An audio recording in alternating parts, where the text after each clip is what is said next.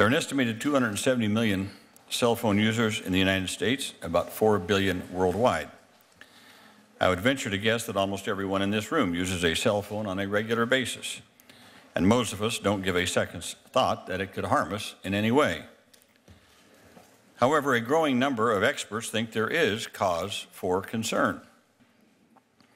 Indeed, some international studies have suggested that people who use cell phones for more than 10 years are more likely to get tumors on the side of the head where they usually hold their phone. I hope today's hearing will begin to address that question.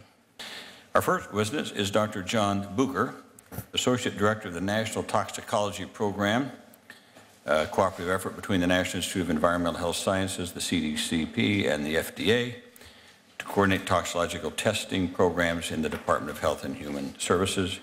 Dr. Bucher, welcome to the committee, and please proceed. Thank you.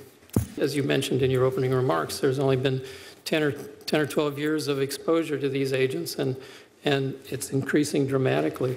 Um, and there have been some hints recently that, that there is an increase in brain cancers in, in uh, people who have used these uh, cellular communication devices for a number of years.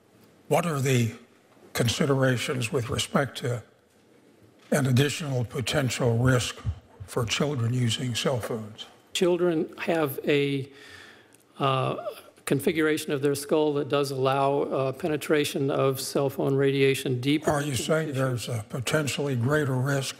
I'm, I'm saying there potentially is a greater risk. And, and what, uh, what uh, limitations, if any, then, uh, any parents are watching this on C-SPAN, what should they do? I wish I had a good answer to that. I think the... Well, would there be a precautionary approach? How about the use of uh, uh, earphones to minimize risk? I think that's a good idea. If they can do this, they would be better to have some kind of device like this. As I understand it, yes. Uh, why hasn't there been uh, done uh, so far uh, more been done here in the United States to look at the epidemiology of brain cancer among cell phone users? And why aren't we uh, a part of the interphone collaboration? Well, Senator, um, my understanding is that we do. In fact, NCI does support part of the Interphone study. The Interphone study is a large study in 13 different countries that is supported by or is uh, being coordinated by the World Health Organization. You thank you very much for your testimony. Uh, Dr. Sadetzki.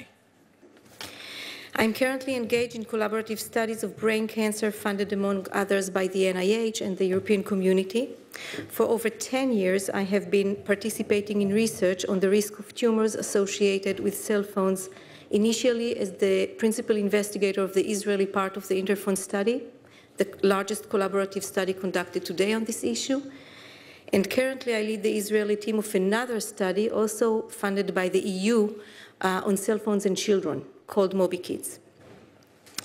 In 2008, we published findings from the Israeli finding of the Interphone study suggesting a risk of salivary gland, are located right here, salivary gland tumors among people who used cell phones for relatively long periods uh, when phone was usually held on the same side of the head where the tumor developed and when use was relatively heavy.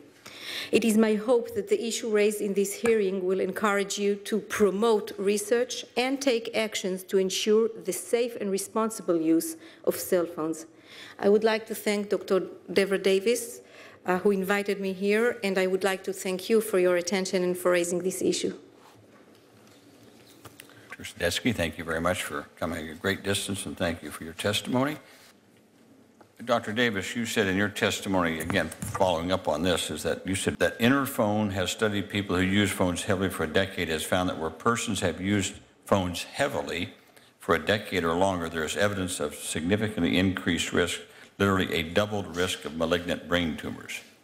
The one researcher to have studied young people who began using cell phones as teenagers, Professor Leonard Hardell of Sweden, has found that those who started to use cell phones heavily before age 20 have four to six times more brain tumors by the time they reach their 30s. Um, can we get some documentation on that study? Um, absolutely. In fact, I want to also tell you, unfortunately, that there has been a history here that I think we need to recognize. When Professor Henry Lai and Singh developed the pioneering new technique for measuring DNA damage called the COMET assay that shows you a tail of DNA when it's damaged.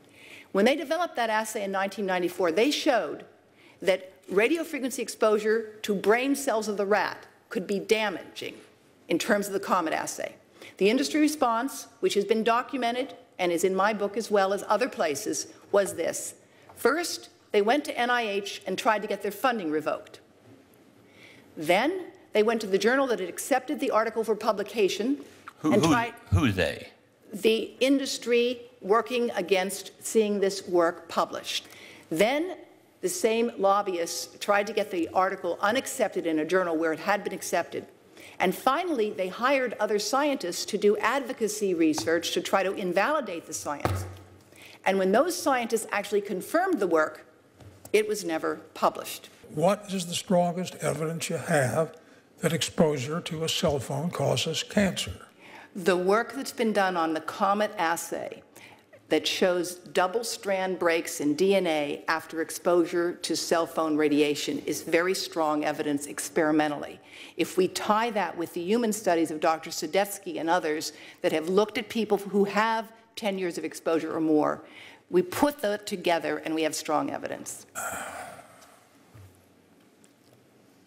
Well, Dr. Sadetzki has testified that you see something after 10 years. Is that an accurate statement, Dr. Sadetzki? Regarding the 10 years, yes. But what worried me was that in my study, I saw consistent positive results, and they always appeared where, where there is biological plausibility. They did not appear in this group or in that group. They appeared in the more than 10 years. They appeared on the same side where the, where the phone was held. They appeared uh, for the heavy users, and they appeared in rural areas compared to urban areas. And this also has biological plausibility because where antenna is more dense, then the exposure is lower. So the fact that all of these indications appeared where they should have appeared uh, told me that it was, it was a really red light. Dr. Davis, you said that, it, that a cell phone should not be kept any closer than an inch to your body? Is that what you said? I don't know where that, where does that come from? Uh, that actually comes from the BlackBerry manual as well as from the iPhone manual. If you read the manuals, which almost none of us does, that is what they say. So by calling for warning labels as I am, I am simply calling to codify what the industry is currently telling us uh, about cell phones. Okay. Dr. Dr. Naidenko? Dr. Naidenko. Last week, EWG released the results of a 10-month investigation of more than 200 peer-reviewed studies, government advisories, and industry documents on the safety of cell phone radiation. We found that the studies published during the first two decades of cell phone use produced conflicting results and few definitive conclusions on cell phone safety. But the latest research, in which scientists are for the first time able to study people who have used cell phones for many years, suggests the potential for serious safety issues. Until the science on cell phone risks is settled, EWG recommends a number of simple actions consumers can take to reduce exposures to cell phone radiation, including use a low radiation phone, use a headset or a speakerphone, choose texting over talking, and limit children's cell phone use. In conclusion, EWG strongly believes that the government should support additional research into this important health question and that the public has a right to know what levels of radiation they may be exposed to, what may be the potential risks, and what precautionary measures consumers can take to protect themselves and their families from any adverse health effects of cell phone radiation. Thank you for your time. Did you have something you wanted to add to that, Sir- Dr. Sadetzki? I didn't know. I thought you were signaling me. Did you want to? Mm, just two minor points. The first is that in Israel it is obligatory by law to have the specific absorption rate on every phone that is in the market. You're doing that now? or- Yes, already for th- four years now. Senator Specter, I think you want to add before we... Well, I have a final comment. See what the, see what the Senate can do on a Monday afternoon if a couple of senators are in town. ハハハハ!